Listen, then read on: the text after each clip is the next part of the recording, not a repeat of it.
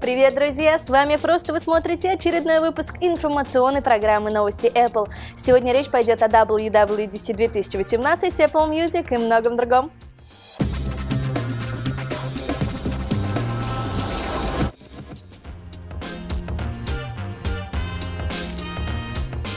Siri не оправдала надежд, об этом заявил создатель голосового помощника Норман Винарски. По его словам, продукт, который когда-то был выкуплен Apple, мог произвести настоящую революцию, но остался в тени разработок конкурентов. Первоначально планировалось сделать из Siri персонального консьержа, который, самостоятельно узнав, что ваш авиарейс отменен, нашел бы замену еще до того, как вы вытащите смартфон из кармана. Возможно, функциональность Siri была бы более ограниченной, но зато она помогала бы решать по-настоящему важные задачи. Apple намерена доработать клавиатуру MacBook будущих поколений таким образом, чтобы обезопасить ее от попадания пыли, крошек воды. Это следует из материалов нового патента.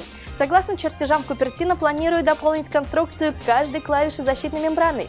Предполагается, что она не позволит инородным частицам попадать внутрь механизма и препятствовать его работе.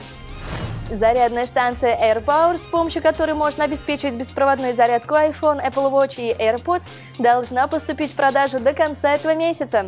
Если ранее соответствующей информацией делились аналитики, то на этот раз источник оказался среди поставщиков Apple. Скорее всего, одновременно с релизом AirPower в продажу должен поступить кейс для AirPods с поддержкой беспроводной зарядки. Компьютеры Apple возглавили рейтинг надежности с оценкой 665 и степенью А+, составленный специалистами сети ремонтных мастерских Rescue.com. Вывод о надежности был сделан на основе данных о количестве обращений владельцев Mac за ремонтом в сравнении с компьютерами прочих брендов. На втором месте с оценкой надежности 270 расположились десктопы и лаптопы Samsung. Им была присуждена степень надежности А-.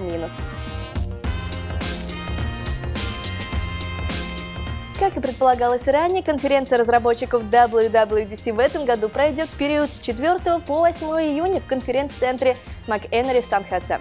Эту информацию подтвердил Apple, открыв прием заявок на участие. На мероприятие приглашаются как разработчики, так и просто творчески заинтересованные люди.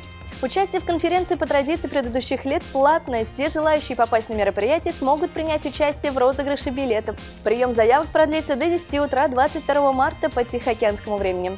Как и в любой другой лотерее, компания Apple не гарантирует выигрыш вне зависимости от сроков подачи заявки. Стоимость билетов на WWDC 2018 составляет ни много ни мало 1600 долларов, что эквивалентно 91 тысячи рублей. Традиционная презентация Apple состоится в первый день конференции 4 июня.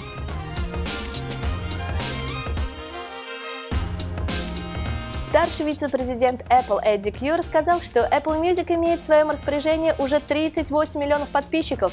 Еще около 8 миллионов человек пользуются сервисом на пробной подписке. В среднем каждую неделю сервис получает прирост в 400 тысяч новых подписчиков.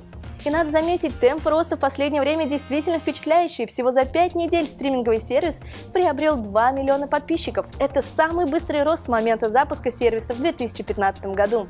Тем не менее, пальм первенства по-прежнему удерживает Spotify со своим 71 миллионом подписчиков, что практически вдвое больше Apple Music.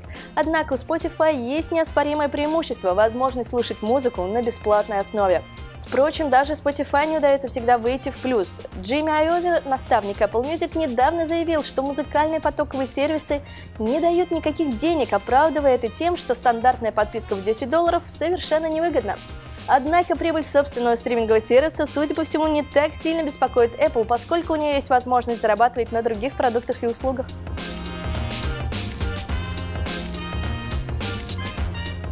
В ближайшей перспективе Apple намерена сосредоточиться на создании и продвижении оригинального контента. Об этом Эдди Кью рассказал журналистам CNN. По его словам, у Apple есть сформировавшаяся команда профессионалов, для которых словосочетание «оригинальный контент» — это не пустой звук.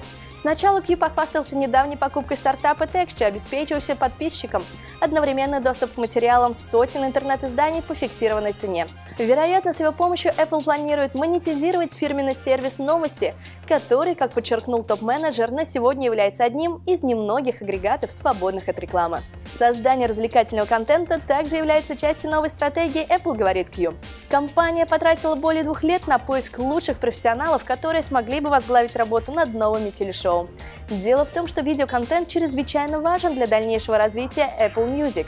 Apple стремится дать пользователям комплексный продукт, который бы представил им доступ не только к музыке, но и оригинальным телевизионным шоу, которые они не смогут увидеть где-то еще.